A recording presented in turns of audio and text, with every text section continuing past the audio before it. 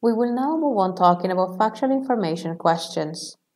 They are similar to the previous type because they ask you to recognize information that is explicitly stated in the text.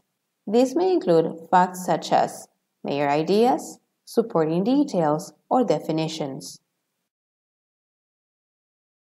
Factual information questions will have phrases like according to the paragraph or paragraph X answers which of the following in the question.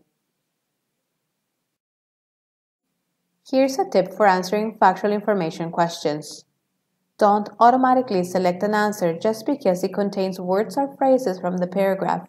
Make sure you carefully evaluate each option to determine if it is correct. Take a look at sample factual information questions. Go on reading the passage. Remember, factual information questions look for only one right answer.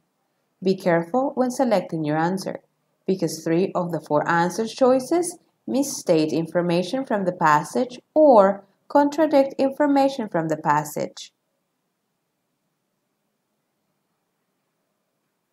One answer we can definitely eliminate is A because there's no mention in the paragraph of his pictures were all negative.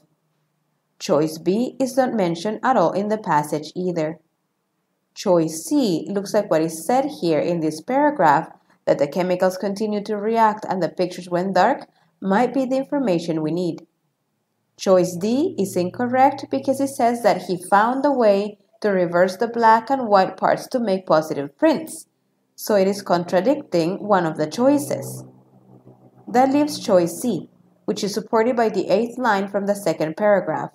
Therefore, C is the correct answer.